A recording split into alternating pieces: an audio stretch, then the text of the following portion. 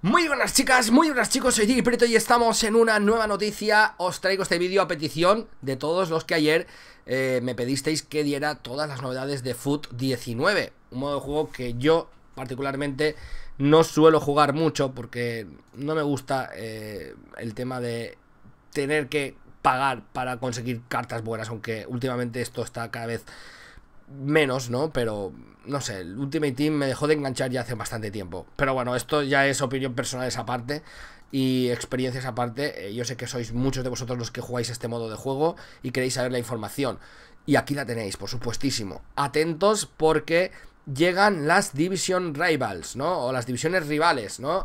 Es uno de los primeros cambios en las temporadas online que desaparecen en favor de este nuevo modo, las divisiones rivales, ¿no? El cual ofrece una experiencia totalmente renovada en Ultimate Team. Cuando empecemos nuestra aventura, jugaremos una serie de partidos que eh, nos colocarán en nuestro nivel de juego. Se te asignará un nivel de habilidad basado en tu rendimiento en esos partidos y determinará así la división en la que quedarás encuadrado para posteriormente ir subiendo o bajando en dichas divisiones. Dará igual si juegas mucho o poco a foot, siempre quedarás emparejado y estarás compitiendo con gente de tu nivel, lo cual se agradece.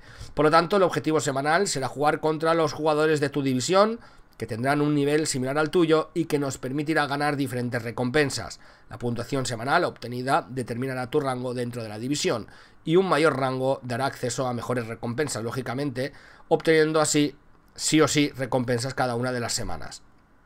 Cada victoria frente a los rivales de la división no solo te acerca a la siguiente división, también te lleva un paso más cerca de la liga de fin de semana. Cuando hayas ganado suficientes puntos, puedes canjearlos para ingresar a la actual liga de fin de semana o guardarlos para usarlos en futuras clasificaciones, para que tú puedas decidir en qué fin de semana quieres jugar. La recalificación en la liga de fin de semana también funciona de manera diferente. Cada victoria de esta liga también gana puntos que pueden usarse para entrar en futuras ligas de fines de semana. Accesibilidad.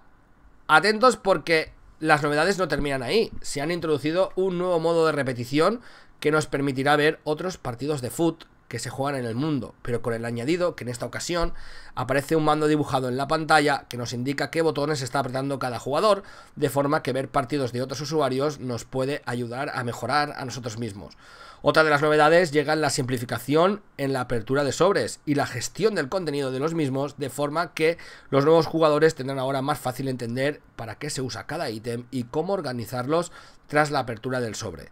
Y otra de las cosas importantes, los nuevos iconos, nuevos iconos confirmados. Rivaldo, Johan Cruyff, Frank Lampard, Sidorf, Raúl, Close, Steven Gerrard, Fabio Cannavaro, Eusebio, Claude Makelele, Roberto Bayo y muchísimos más que todavía no se han desvelado.